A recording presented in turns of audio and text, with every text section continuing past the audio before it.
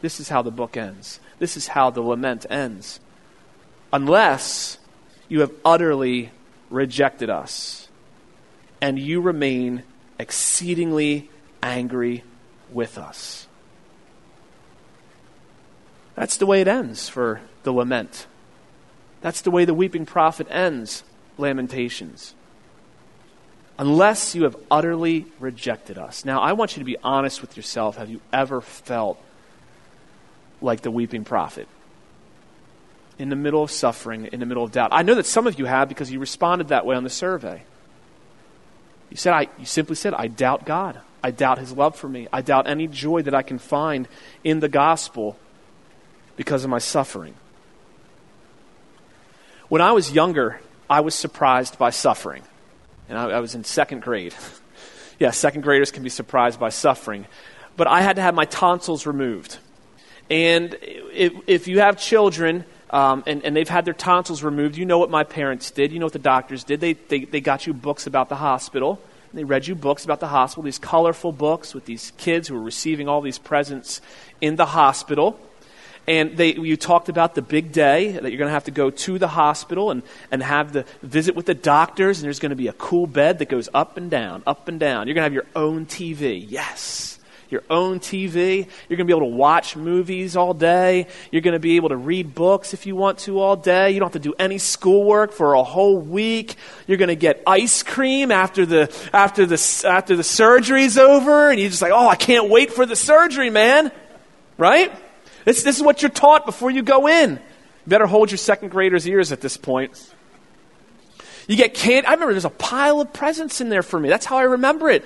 This is awesome. And then the surgery comes, and they strap you to the gurney, and your mom is crying. Sign number one. They wheel you in. I remember it. They wheel you in. You're in the gown. And she's like, Why are we crying? There's ice creams coming, mommy. Ice cream for everybody as much as I want. And then you go in, they said, You're going to watch yourself on the TV. There's going to be a, a TV. It's going to show your heartbeat. Beep, beep. Just you get to see your heart on TV. I remember sitting, I can see it like it was yesterday, watching that green screen from the 1980s with that little beep on there. And, and I remember exactly how it looked, and I thought, that's not me. I'm like, look, you can see yourself on the screen. I thought, this is a lie. This whole thing's a lie. Then they put the mask on. Count backwards.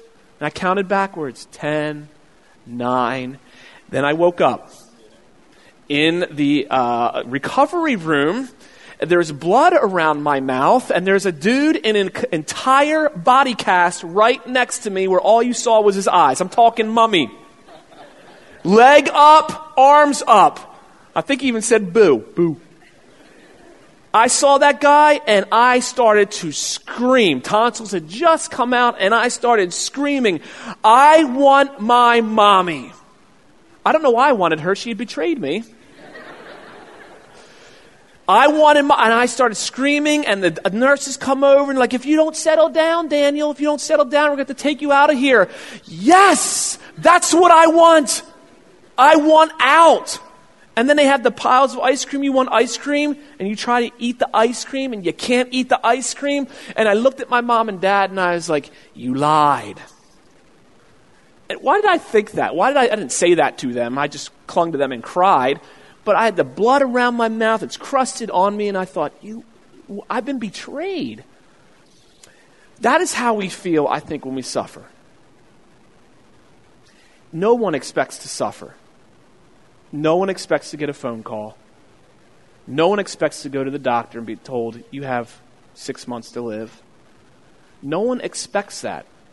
Christians don't expect it because we have been brought up in churches where we've been taught that if you come to know Jesus, everything's going to be all right. And Jesus doesn't promise that.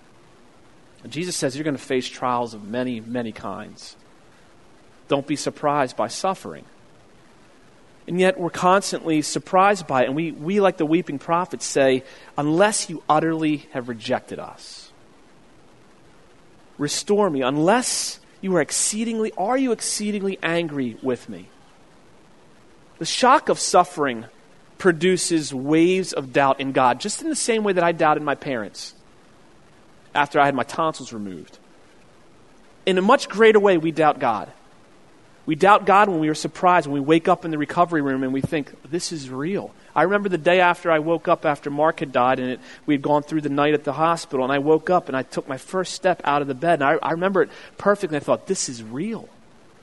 This is reality. And then I walked out to our backyard volleyball court, and it was a hot 105 degree July day, and I thought, this is reality. We're never going to play together again. This is the real deal. And you ask, and have you utterly rejected us? And there's some serious doubt. Perhaps there's no more fertile soil for doubt, for the seeds of doubt, than suffering. And why is that? Because doubt can be the uncertainty about God, about his, his attributes, and it, it's when we feel isolated from him. Paul Bunyan talks about this. He writes about this in The Pilgrim's Progress when he talks about Christian who's on a journey to see the celestial city. And he's on this long journey with a burden on his back, and he is captured by the giant despair. For those of you who've read it, you know what I'm talking about. And giant despair locks him up in the doubting castle. I love Paul Bunyan because he uses allegory, but not quite. I mean, he just tells you exactly what he's thinking. Giant despair locks him up in, in, in doubting castle, and he starves Christian. It's a perfect picture of suffering. He starves him, and he's trying to convince Christian to kill himself. There's no way out. In suffering, you're in doubting castle. You're, you're there with giant despair, and then Christian realizes, I have a key. I forgot about this key called promise. That's what I think we find in the scriptures.